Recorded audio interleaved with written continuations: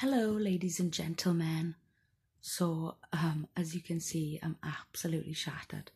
This is literally the second night that um that I've had my pup, and yeah, guys, I'm rocking the bunny look, right? Um, today I got uh, Dash's cage because last night wasn't very good at all. Um, I think I had three hours sleep last night. Um, and I'm not complaining about it. You know, this is like a really early stage in his life, so he's he's doing really well with the training. Um, and I know most people are going to say, "Oh, shut up!" You know that the dog can't sit. He doesn't know what you're talking about, but he does. He's starting to uh, respond to his name. He does sit when I do this. Sit, but I've got to put my finger up. Um, he does come to me when I call him. So, and you're not going to believe me, but when I throw the ball, he brings it fucking back. I'm on cloud nine right now, guys. So Dash is in the cage um, in the living room. So I've um, I've kept my bedroom door open.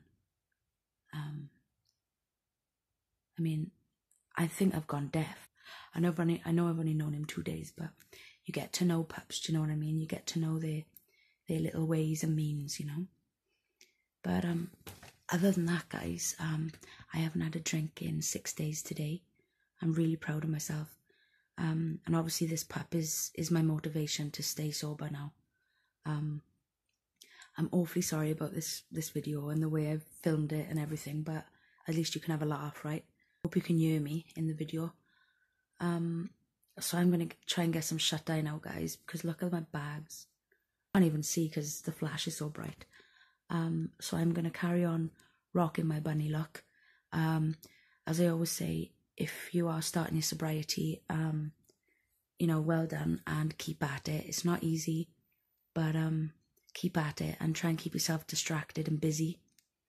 Obviously, I can't um, go out for my walks like I was doing, um, but I think I got a hell of a lot.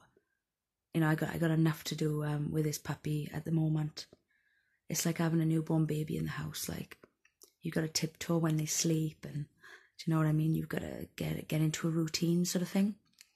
But um, I'm doing well so far, guys. I'm really happy. I love him to pieces. He can sleep deprive me all he wants. I'm really, really happy. And so's the bunny. Thank you ever so much for watching my video.